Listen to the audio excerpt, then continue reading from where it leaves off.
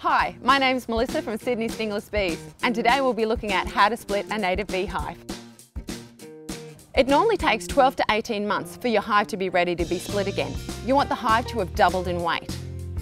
Another good indication is that there's lots of bee activity. Anywhere between 30 to 50 bees per minute is a good indication that it could be ready to be split. I always recommend splitting your hive at least once. That way you have a backup hive should your hive die. Now you're going to need some tools and equipment and all of these can be found on my website. So this is the hive that we're going to be splitting. Here is our empty hive. We'll be using a splitting tool, some straps, a knife, sticky tape. Always handy to have a rag or a cloth close by. I always recommend using a hat with a bee net. The bees, although they don't sting, they can go everywhere when you're trying to split a hive, in your nose, mouth and hair. And of course a tray to drip off any excess honey. So the first thing you need to do is to cut your straps.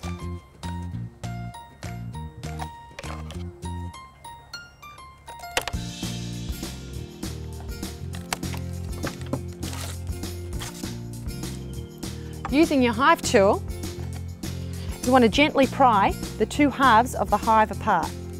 When you're splitting your hive, you're looking for an even split of brood with honey and pollen. Half of the brood should remain in the top split and half of the brood in the bottom. You don't always see the advancing front when you split a hive. If you find it's not an even split, simply close the hive, reseal and check in a couple of weeks time. So this spiral is the beautiful spiral of the Tetragonula carbonaria. It's what we also call an advancing front. So these open cells here is what the queen will lay an egg in. They'll be provisioned with food and then later on they will be resealed. Now this one here is what we call an emergency queen cell. In the hive there could be a number of virgin queens in there just waiting for the opportunity to become queen. So when you split the hive, one half of the hive becomes queenless. So that one of these emergency queen cells or one of the princesses that are in waiting, what will happen is they will fly away, mate with a drone from another hive and then come back and start laying eggs in the new hive. So that way both hives will have a queen. These yellow parts, that's the pollen that the bees have collected and then over here are your honey pots which have been broken. Using the hive tool I'm just going to scrape along the outside just so that we have a nice clean surface for the top of the hive to join to.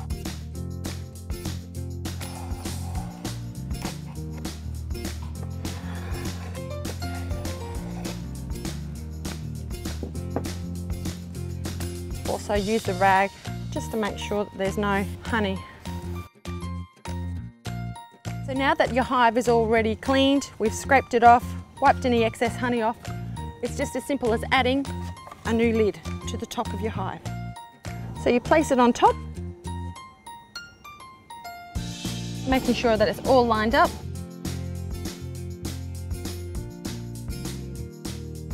Then we want to use some sticky tape to seal up this join. The bees will make an internal seal, but that will take them a little bit of time. So this protects the hive from any insects laying grubs in the join. We just wrap it around two or three times. All that needs to be done now is to restrap it.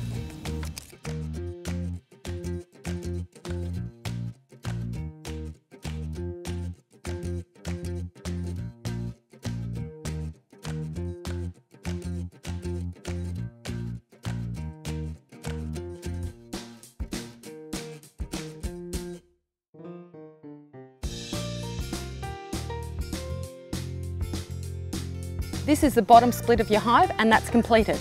So now we just repeat the process with the top half of the hive. What I will do is I will drain the honey off. It's less work for the bees to clean up and it also doesn't attract any insects. Scrape around the outside again, wiped any excess honey off. The top basically just goes on this bottom. Lining it up again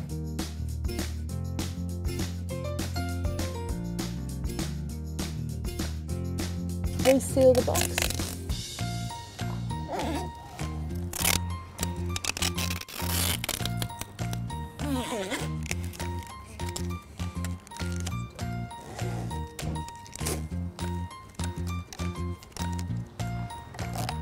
So this is our two hives that we've just split. This is the top and this is the bottom. I recommend putting the top back into the original position and you can move the bottom because that's a more stable split. You can move it to somewhere nice and shady in your garden or as a gift you can give it to family or friends to keep the love of stingless bees going around. For a more detailed explanation of the workings of a native beehive, Tim Heard has a fabulous new book out called the Australian Native Bee Book. It's a fabulous resource of all information about the bees with beautiful photos and diagrams. You can check it out on my website. Thanks for watching and stay tuned for more Sydney Stingless Bees adventures.